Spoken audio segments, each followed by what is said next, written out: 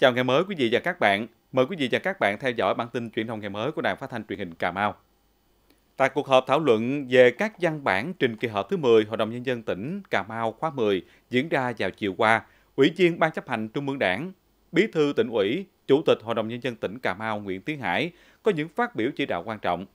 Đây là nội dung mở đầu bản tin truyền động ngày mới của Đài Phát thanh Truyền hình Cà Mau hôm nay, thứ Tư, ngày 28 tháng 6. Để nâng cao hiệu quả thi hành án dân sự, công khai minh bạch kết quả thi hành án cho đương sự và các cơ quan báo chí nắm bắt, Bí thư tỉnh ủy Nguyễn Tiến Hải đề nghị trong thời gian tới, tại kỳ họp Hội đồng Nhân dân tỉnh, Cục thi hành án dân sự tỉnh Cà Mau cần báo cáo công khai về những vụ việc chưa có điều kiện thi hành và kết quả xác minh điều kiện thi hành án dân sự. Đồng thời, đồng chí đề nghị tại kỳ họp thứ 10 tới đây, các sở ngành chuẩn bị báo cáo kết quả thực hiện các nội dung mà đại biểu chất vấn tại các kỳ họp trước. Thưa quý vị, cùng với thí sinh trên cả nước, sáng nay tất cả thí sinh trên địa bàn tỉnh Cà Mau cũng bước vào kỳ thi tốt nghiệp trung học phổ thông năm 2023. Theo đó, trong buổi sáng, thí sinh sẽ thi môn ngữ văn với thời gian làm bài là 120 phút. Đây là môn đầu tiên cũng là môn duy nhất tại kỳ thi tốt nghiệp trung học phổ thông được thi theo hình thức tự luận. Buổi chiều, thí sinh sẽ thi môn toán, thời gian làm bài 90 phút theo hình thức trắc nghiệm.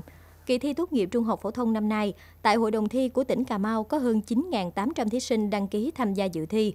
Toàn tỉnh tổ chức một hội đồng thi với 17 điểm thi, có 414 phòng thi, đảm bảo đúng quy chế thi, thuận tiện cho thí sinh và an toàn cho công tác tổ chức của kỳ thi.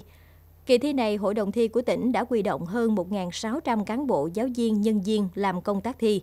Trước đó, mọi công tác chuẩn bị về kiến thức, kỹ năng cùng cơ sở vật chất, an ninh trật tự, hỗ trợ thí sinh có hoàn cảnh khó khăn và các hoạt động tiếp sức mùa thi đã được các cấp, các ngành, đoàn thể và ngành giáo dục đặc biệt quan tâm triển khai thực hiện, đảm bảo để kỳ thi diễn ra an toàn, nghiêm túc và đạt chất lượng. Hè là dịp để trẻ em được nghỉ ngơi vui chơi, nhưng ở nhiều vùng nông thôn, việc tìm một sân chơi an toàn, bổ ích cho trẻ vẫn còn nan giải. Tắm xong, chơi ở nhà với chiếc điện thoại, xem TV hay vui chơi trên đường giao thông là những lựa chọn phổ biến ở trẻ em vùng nông thôn trong dịp hè. Các em tự tạo ra trò chơi nhưng chưa có khả năng tự bảo vệ an toàn cho mình. Theo Sở Lao động Thương binh và Xã hội tỉnh Cà Mau, năm 2022, toàn tỉnh xảy ra 234 trường hợp tai nạn thương tích ở trẻ. Trong số này, có 24 em tử vong, chủ yếu là do đuối nước. Trong những tháng đầu năm nay, toàn tỉnh cũng đã xảy ra 149 vụ tai nạn thương tích ở trẻ. Riêng tai nạn giao thông đã chiếm 57 trường hợp. Đi chơi ở đâu? Ở vòng vòng ở trong mé gì? Mình chơi trên trên lộ giao thông gì thì thấy có sợ cho xe này kia không? Dạ có. Con sợ sao nói cho cô nghe coi. Dạ con sợ xe sắn. Xe trùng, xe lụng á. Vậy thì sao mình không chơi chỗ khác mà lại chơi trên đường giao thông vậy? Tôi con chơi gần rồi tôi con đâu chơi ngoài này đâu gì. Có mày đứng dốc mày. Ơi, Không chơi đây chơi đâu thì nhà tôi con vòng vòng này không chơi ở đây chứ chơi đâu. Thật khó có câu trả lời cho các em với những câu hỏi như thế này. Do thiếu sân chơi ngay tại nơi mình sinh sống, các em thiếu nhi đành lựa chọn chơi ngay trên đường xe lưu thông. Nguy cơ mất an toàn là rất cao.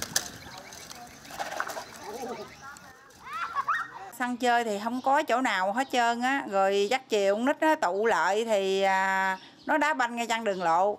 Xe lại thì bóp kèn thì nó dạt vô nó nghỉ đá. Rồi xe đi thì bắt đầu nó đá tiếp. À, chị cũng la nó hoài thôi.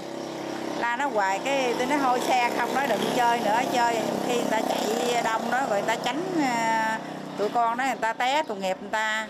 Rồi nói chung ra đi cái mấy người đó người ta chạy xe gần tới người ta cũng bóp kèn rồi nó ngưng rồi nó mới chơi nữa. Ở đây đúng ra có cái khu dân chơi á là con nít nó chơi nhiều dữ lắm. Với hai nữa hoàn cảnh cũng khó khăn. Con nít nó đâu được đi xa chơi.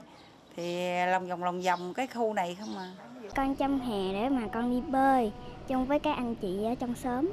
Con đi một mình á, thì con sợ cha mẹ lo lắng, sợ bị đuối nước mà không ai cứu nên con không có dám đi một mình.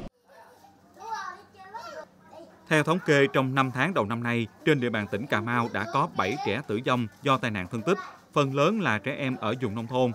Để hạn chế tình trạng này, cũng như giải cơn khát sân chơi cho trẻ em vào những dịp hè, cần phải có sự chung tay vào cuộc của các ngành các cấp, và toàn xã hội. Những ngày gần đây trên địa bàn tỉnh Đồng Nai liên tục ghi nhận những trường hợp phải nhập viện điều trị do trước đó tự ý mua thuốc sử dụng các bài thuốc dân gian để điều trị tại nhà. Trong đó có những trường hợp bị biến chứng nặng, tổn hại nghiêm trọng đến sức khỏe, thậm chí là gây nguy hiểm tới tính mạng. Lực Thới Bình tổ chức hội nghị khách hàng sử dụng điện năm 2023 nhằm đánh giá kết quả sản xuất kinh doanh, công tác phục vụ của ngành điện đối với người dân, cơ quan doanh nghiệp trên địa bàn huyện. Tại hội nghị, nhiều khách hàng sử dụng điện đã phát biểu ý kiến, khẳng định rõ những bước tiến vượt bậc của Điện lực Thới Bình trong quá trình tiếp nhận đầu tư, nâng cấp hệ thống điện từ đô thị đến nông thôn, cũng như góp ý một số nội dung liên quan đến quá trình vận hành hệ thống điện mà người dân, cơ quan, doanh nghiệp còn đang vướng mắt. Dịp này, Điện lực Thới Bình đã biểu dương 4 doanh nghiệp tích cực tham gia chương trình điều dưỡng phụ tải mùa khô năm 2023. Nhiều người dùng camera của hãng Hikvision cho biết trên màn hình hệ thống xuất hiện thông báo bị đột nhập, nghi vấn đã bị hacker tấn công.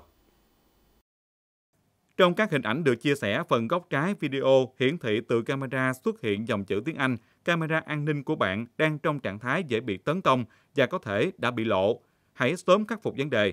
Tự thực hiện hoặc liên hệ tôi. Thông báo đi kèm một tài khoản Telegram. Hiện chưa có thông tin về số lượng người dùng tại Việt Nam bị ảnh hưởng. Theo các chuyên gia công nghệ, các camera xuất hiện thông tin này đã bị hacker tấn công thông qua lỗi bảo mật đã được cảnh báo từ năm 2021. Lỗ hỏng được đánh giá là 9,8 trên 10, một trong những mức độ nghiêm trọng nhất từng xuất hiện trên một sản phẩm camera. Khi đó, Hikvision thừa nhận gần 80 dòng camera và đầu ghi của hãng tồn tại lỗi hỏng. Ước tính hơn 100 triệu camera an ninh của Hikvision trên toàn cầu, trong đó có Việt Nam bị ảnh hưởng. Hầu hết sản phẩm có nguy cơ tấn công được sản xuất từ năm 2016 trở về trước. Hikvision khi đó đã phát hành bản giá và đề nghị người dùng cập nhật ngay để hạn chế nguy cơ bị khai thác. Những thông tin vừa rồi cũng đã kết thúc bản tin chuyển động ngày mới sáng nay của Đài Phát thanh Truyền hình Cà Mau. Cảm ơn quý vị và các bạn đã quan tâm theo dõi. Xin chào tạm biệt và hẹn gặp lại.